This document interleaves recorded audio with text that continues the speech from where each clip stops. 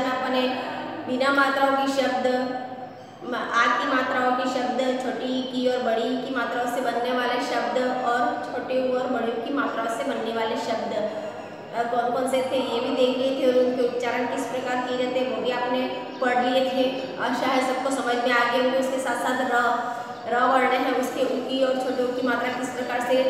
प्रयुक्त करते हैं। इसके बारे में भी आपने देख लिया तो इससे बनने वाले शब्द थे और उनका उच्चारण किस प्रकार किया जाता है, ये भी आपने पढ़ लिया था। अब उसके बाद आपका आता है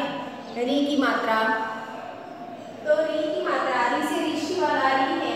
उसकी मात्रा रहती है वह वर्ण के नीचे लगाई जाती है जैसे छोटे और बड़े की मात्रा किसी वर्ण के नीचे लगाई जाती थी ना ऐसे तो वैसे वैसे री की मात्रा भी इस तरह से लगाई जाएगी इस मात्रा से कौन कौन से शब्द बनते हैं वो देख लीजिए जैसे क की ई की मात्रा री की मात्रा लगी क वर्ण है उसके री की मात्रा लगी तो क्या बना क्री ऐसा ये वर्ण बनता है क्री प के री की मात्रा तो क्री च के ई की मात्रा हरी की मात्रा लगी तो च्री ऐसे कैसे ये हरी हरी वर्ण, हरी मात्रा से बनने वाले शब्द अपन देखते हैं अभी। जैसे पित्र है। मातृ कृषक कृषि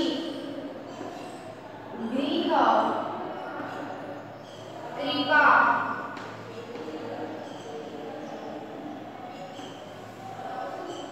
है तृण है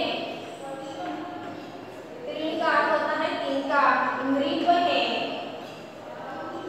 मृग का अर्थ होता है राजा अमृत है ये शब्द री की मात्रा इसमें प्रयुक्त हुई है देखिए पितृ मातृ गृह कृषक कृषि कृपा तृण नृप और अमृत इसी तरह आपके इसमें पाठ्य पुस्तक में भी दे रखे हैं देखिए ऋषि ऋषभ कृषक और गृह इसी तरह यहाँ पे दे रखा है क के री की मात्रा लगी तो ग्री बना ग के री की मात्रा लगी तो ग्री बना प के री की मात्रा तो ग्री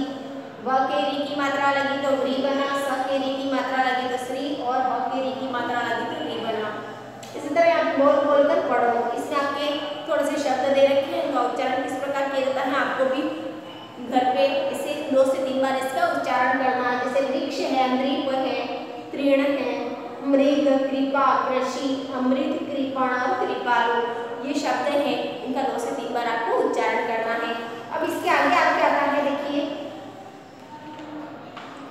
री री से आपकी एक कविता बनाई गई है इसमें कहाँ कहाँ पर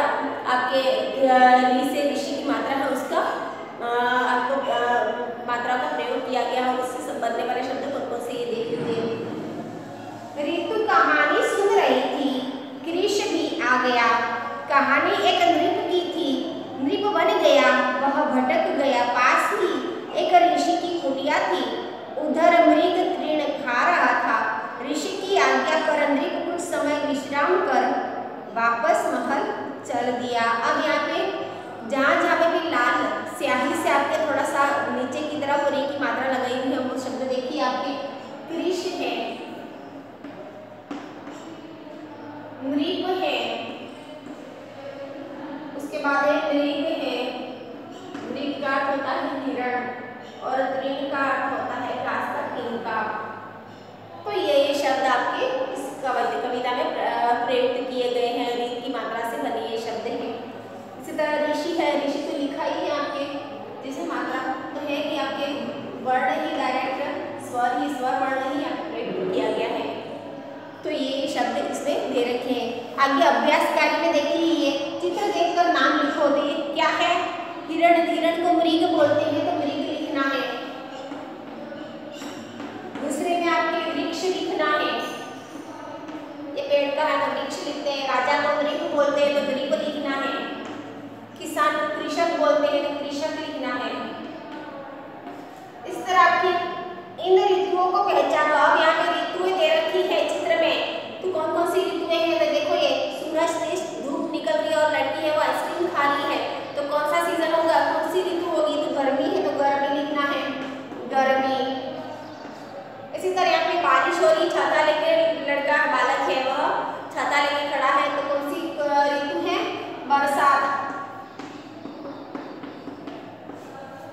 इसी तरह ये स्वेटर पहना हुआ है और बर्फ़ के, बर्फ़ की जैसे बर्फ़ गिर रही है, वैसा दिख रहा है। तो कौन सी है कौन सी ऋतु है ये? सर्दी। तो सर्दी लिखना है आपको। अब तीसरा प्रश्न, मृग की सही परछाई पर गोला लगाओ। मृग की परछाई ये हिरण है। तो उसकी परछाई किस तरह से पड़ती है? दूसरी तरफ़ तो परछाई कौन सी सही है इसमें? तो इसमें देखो ये की ये पर यहाँ पर तो सिंह लगे हुए हैं ये तो हो नहीं सकता है यहाँ पे भी सही नहीं दिख रहा है छोटा सा उसके कान नीचे झुके है कान ऊपर झुके होती है, दूसरा है तो सही है, तीसरे में कान झुके हुए हैं तो ये भी गलत है। अब यहाँ पे तीसरे में भी पैर दोनों जुड़े हुए हैं नीचे से। ये आगे वाले पैर तो ये भी सही है तो कौन सा कौन सा सही है ये दूसरी वाली परछाई है, वो सही है तो उस पर सर्कल लगाना है अब आगे आते हैं आपके ए और आई की मात्राएँ ए और आई की मात्राएँ किस तरह से व्यक्त की जाती है और उनके बनने वाले शब्द कौन कौन से वो भी देख लीजिए आप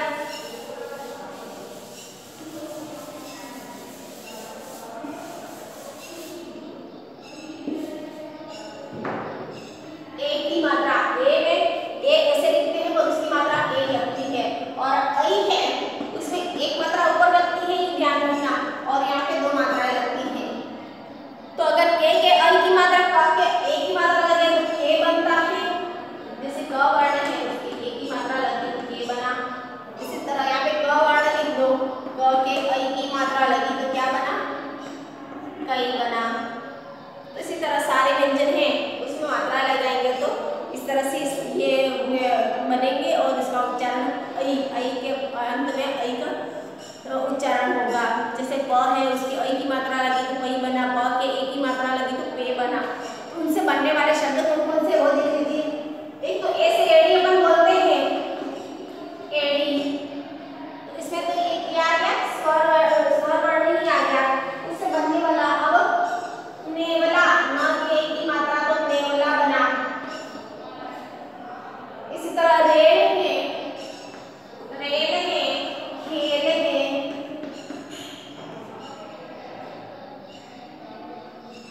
मेवा है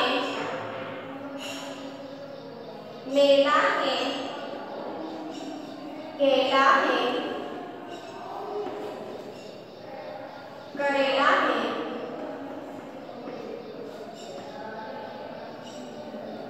जलेबी है।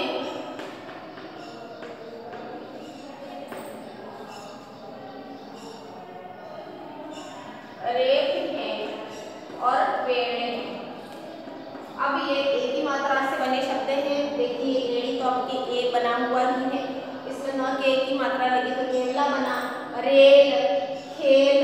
केला मेवा मेला करेला जलेबी रेत और पेड़ ये शब्द ए की मात्रा से बने हुए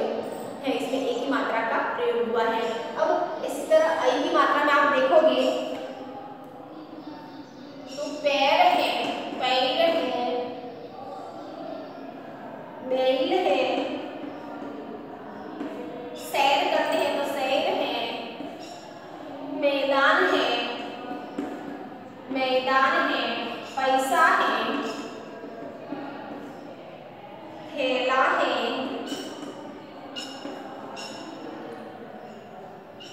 मेला है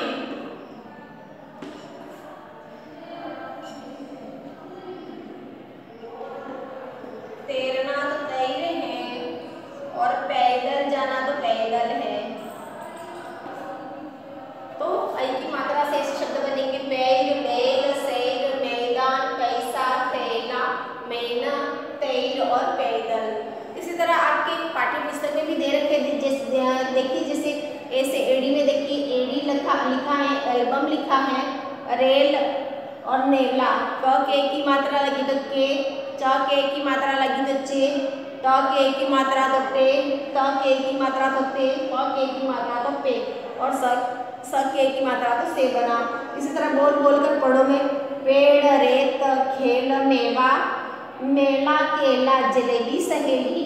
करेला, रेलगाड़ी, मेहमान और पहरेदार। इसी तरह आई की मात्रा में आप देखोगे तो ऐनक है एरावत है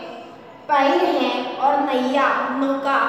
नाव रहती है उसको बोलते हैं। तो ये लिखे हुए हैं, कई, चई, टई, तई, पई और सई। तो ये अई की मात्रा से बने हुए वर्ण हैं। अब गोल गोल का पढ़ो इसमें, शब्द दे रखे हैं अई की मात्रा से बने हुए शब्द कौन कौन से हैं? तो गैल है, सेर है, तेर है, थैला है। पैसा, मैना, पैदल, तेरा। मैदान तेरा पैराशूट, बैलगाड़ी और नैनीताल। ये शब्द हैं जो अई की मात्रा से बने हुए हैं। अब अई की मात्रा से बने हुए शब्द हमने पढ़ लिए, जिसमें एक कविता दे रखी है, मैना रानी। तो मैना रानी में ए और ए की मात्राओं के शब्द दे रखे हैं, इसमें जो लाल स्याही से मात्राएँ उसकी बनी हुई है, जैसे पेड़ पर पेड़ पर मैं बैठी मैना रानी, मीठा गीत सुनाती है, मिश्री जैसी आवाज़ से सबका मन बहलाती है। पेड़ सेब का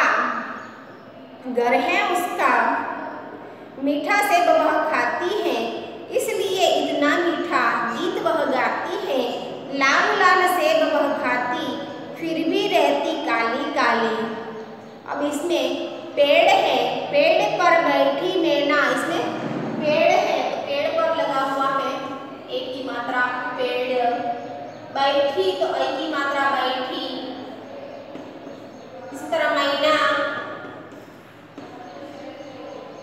मीठा गीत सुनाती है तो हई के ऊपर दो की मात्रा है तो हई की मात्रा लगी मिश्री जैसी तो जैसी में अ की मात्रा लगी हुई है मिश्री जैसी आवाज़ से स में ए की मात्रा लगी हुई है इसी तरह पेड़ सेब पेड़ लिखा है सेब है है तो लिखा हुआ ही है सेब मीठा सेब वह खाती है इसलिए इतना मीठा गीत वह गाती है लाल लाल सेब खाती सेब वह खाती फिर भी रहती काली काली ये शब्द इसमें एक ही और एक ही मात्रा से इसमें बने हुए हैं। अब इसमें अभ्यास कार्य में आप देखिए, चित्र का नाम लिखकर खाली जगह भरो अब इसमें चित्र कौन सा है? तो पेड़ तो पेड़ लिखना है आपके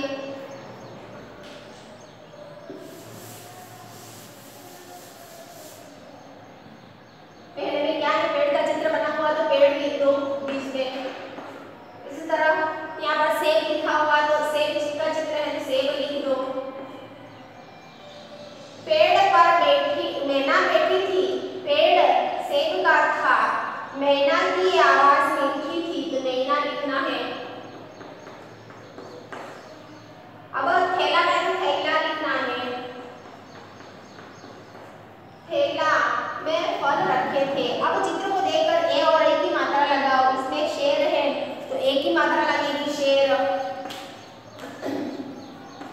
बैग में अ की मात्रा लगेगी ब के अ की मात्रा बैग इसी तरह केतली ए की मात्रा लगेगी केतली इसी तरह पैसा है तो अ की मात्रा लगेगी पैसा पढ़ो और समझो इसमें ए और आई की मात्रा दे रखी है जैसे बैल मेल मेला शेर उसके आई की मात्रा में देखिए बैल मेल मेला शेर ये शब्द है इनको आपको बार बार पढ़ना है उनका उच्चारण किस प्रकार किया जाता है अभी आपको बता दिया है आपको भी घर पे इसका अभ्यास करना है और किस तरह से ये ए और ए की मात्रा के शब्द बने हैं, आपको पता चल गया। अब आगे अपन ओ ओ की मात्राओं को अपन कर पड़ेंगे धन्यवाद।